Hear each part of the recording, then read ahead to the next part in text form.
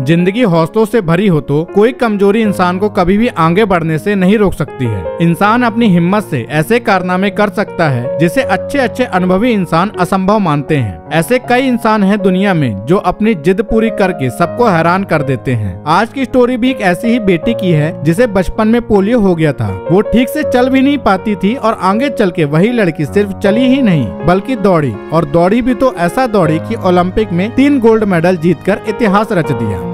नमस्कार दोस्तों, मेरा नाम है सत्येंद्र सिंह। मेरी इस वीडियो को देखने और हमें इतना प्यार देने के लिए आपका बहुत बहुत धन्यवाद। आज मैं आपके लिए लेकर आया हूँ अमेरिका महिला एथलेटिक विल्मा रेडोल्फ की कहानी, जिन्होंने अपने जज्बे, जुनून और मेहनत से असंभव को भी संभव कर दिया। तो चलिए बिना आपका समय खराब किए, हम विल्मा रेडोल्फ के इस प्रेरणादायक जीवन को शुरू करते हैं। विल्मा ग्लोडियन रोडोल्फ का जन्म 23 जून 1940 को अमेरिका के सेंट बैथलियम नाम की जगह पर हुआ था। इनका जन्म अमेरिका के एक गरीब परिवार में हुआ था। वह एक आश्वेत परिवार में जन्मी थी। उस समय आश्वेत लोगों को दोयम दर्जे का इंसान माना जाता था। विल्मा की माँ घर घर जाके नौकरानी का काम करती थी और पिताजी कुली का काम किया करते थे। पिता ने दो विवाह किए थे। इस तरह 22 भाई बहनों में इनका नंबर बीसवा था। विल्मा के जन्म के कुछ समय बाद ही परिवार दूसरे शहर में चला गया। यहीं से पली बड़ी और शिक्षा भी प्राप्त की। एक बार बचपन में इनके पैरों में बहुत तेज दर्द हुआ। जब विल्मा के इलाज के लिए अस्पताल ले जाया गया तो पता चला कि इन्हें पोलियो हो गया है। अब ये कैलिपर्स के सहारे चलने को मजबूर हो गई थी।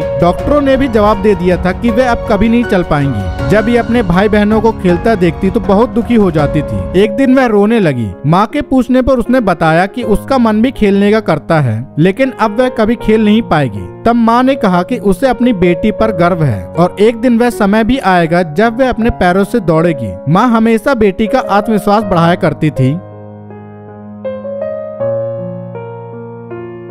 बेटी का अच्छे से इलाज हो सके, इसके लिए माँ ने काम छोड़ दिया था। परिवार बड़ा होने के कारण घर का खर्च भी जैसे तैसे चलता था। इसलिए बेटी का इलाज करवाने के लिए परिवार किसी बड़े अस्पताल के खर्च को वहन नहीं कर सकता था। इसीलिए माँ सप्ताह में दो बार 50 मील दूर अस्पताल के चक्कर लगाती थी। बाकी के दिनों में घर पर ही इलाज करती थी। विल्मा की माँ हमेशा उन्हें स्वयं को बेहतर समझने के लिए प्रेरित करती थी। दो साल तक यही क्रम चलता रहा। पूरा परिवार अब इनका ध्यान रखा करता था। माँ का आत्मविश्वास और बेटी के हौसलों से अब पैरों में जान आने लगी थी। अब बिल्मा खुद से चलने की कोशिश करने लगी थी। ऐसा करते हुए वे बार बार गिरती और खुद से उठती थी और उनकी माँ हमेशा उनका साथ दिया करती थी। दोस्तों, एक माँ दुनिया में इकलौती ऐसी इंसान होती है जो अपने बच्चों के लिए भगवान से भी लड़ जाती है। कई सालों की कोशिश और इलाज के बदौलत अब विल्मा ब्रेस पहन के चलने लगी थी। डॉक्टर की सलाह पर विल्मा बास्केटबॉल खेलने लगी। आखिरकार माँ और विल्मा की लगन रंग लाई और विल्मा ने 11 साल की उम्र में अपने ब्रेस उतारकर पहली बार बास्केटबॉल खेलने लगी। ब्रेस उतार देने के बाद चलने के प्रयासों में वह कई बार चोटिल हुई और दर्द सह करती रही, लेकिन अपने हिम्मत नहीं हारी। लगातार कोशिश करती गई।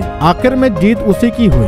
एक दो वर्ष बाद वह बिना किसी सहारे के चलने में कामयाब हो गई। तेरह साल की उम्र में अपने भाई बहनों के साथ खेलना शुरू कर दिया था विल्मा ने। अब वह स्कूल भी जाया करती थी। एक बार स्कूल में खेल प्रतियोगिता रखी गई। विल्मा भी दौड़ प्रतियोगिता में हिस्सा ले ली और सबसे अंतिम पर आई। इसके बाद भी इन्होंने कभी हार नहीं मानी और लगातार दौड़ प्रतियोगिता में भाग लेती गई। हर बार हारने के बाद वह कोशिश करती रही। फिर एक दिन वह भी आया जब इन्होंने दौड़ प्रतियोगिता में प्रथम स्थान प्राप्त किया। स्कूल की पढ़ाई पूरी करने के बाद ग्रेजुएशन के लिए टेनेसी राष्ट्रीय राज्य विश्वविद्यालय में प्रवेश लिया। यहाँ इनकी मुलाकात कोच एंड टेंपल से हुई। इन्होंने कोच से कहा कि मैं दुनिया की सबसे तेज धाविका बनना चाहती हूँ। कोच को जब इनकी क्षमताओं का पता चला तो उन्होंने कहा, तुम्हारी इसी इच्छा शक्ति की वजह से तुम्हें कोई रोक नहीं सकता, और मैं तुम्हारी सहायता करूँगा, तुम्हें ट्रेनिंग दूँगा।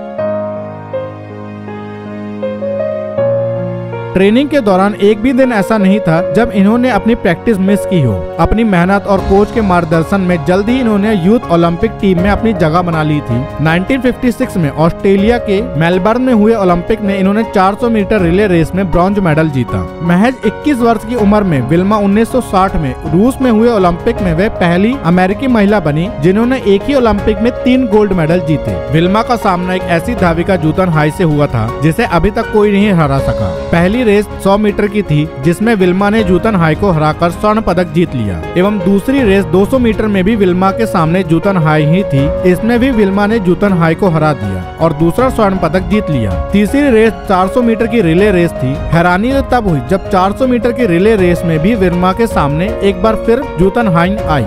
विल्मा की टीम के तीन लोग रिले रेस के शुरुआती हिस्से में तीनों ने बहुत तेज दौड़े और आसानी से बैटन बदलते गए। विल्मा सबसे तेज दौड़ती थी, इसलिए उनकी बारी आखिरी थी। जब उनकी बारी आई तो जल्दबाजी में बैटन उनके हाथ से छूट गया। जूतन हाइन बड़ी तेज़ी के साथ अपने लक्ष्य की तरफ़ बढ़ रही थी। ये देख के विल्मा ने बैटन उठाया और इतनी तेज़ी से दौड़ा कि सब देखते रह गए। विल्मा की बहादुरी, मेहनत और लगन ने जूतन हाई को तीसरी बार भी हराया और अपना तीसरा गोल्ड मेडल जीतकर विल्मा ने इतिहास रच दिया। विल्मा ने दुनिया की सबसे तेज दौड़ने वाली महिला बनने का सपना साकार कर दिया था। विल्मा दौड़ प्रतियोगिता में तीन गोल्ड मेडल जीतने वाली अमेरिका की प्रथम आश्वेत खिलाड़ी बनी और ये साठ के दशक की सबसे तेज धाविका भी थी। अखबारों ने उसे ब्लैक गेजल की उपाधि से नवाजा। बाद में वे अश्वेत खिलाड़ियों के लिए एक आदर्श बन गई। इनके घर वापसी के बाद एक भोज समारोह का आयोजन किया गया। जिसमें श्वेत अश्वेत अमेरिकियों ने एक साथ हिस्सा लिया। विल्मा रेडोल्फ के लिए ये जीत सबसे बड़ी जीत थी। उन्होंने डॉक्टर की बात को झूठा साबित कर दिया था। अपनी इन उपलब्धियों का श्रेय विल्मा ने हमेशा अपनी माँ को दिया। इनका कहना था कि यदि माँ ने त्याग नहीं किया होता तो आज वे इस मुकाम तक नहीं पहुँच पाती। 12 नवंबर 1994 में विल्मा ने 54 वर्ष की उम्र में दुनिया को अलविदा कह दिया था। एक अपंग महिला का यह कारनामा इतिहास में दर्ज है और जीतने की इच्छा रखने वालों के लिए